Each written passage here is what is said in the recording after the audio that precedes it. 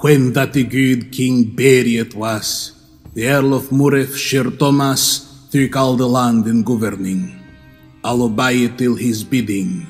And the good Lord of Douglas seen Gert Macacas of Silver Feen, enamel it through subtlety, therein the king is hearted he, and I about his house it bar, and fast him boon it for too far.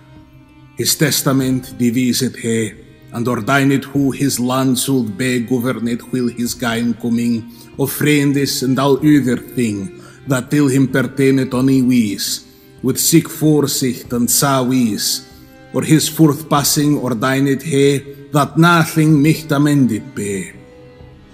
And when that he his love had done, to ship to Berwick is he gone, and with a noble company of knights and of squiery, he put him thar to the sea, a long way forthward sailed he, for betwixt Cornwall and Bretagne he sailed, and left the green of Spain on north of him.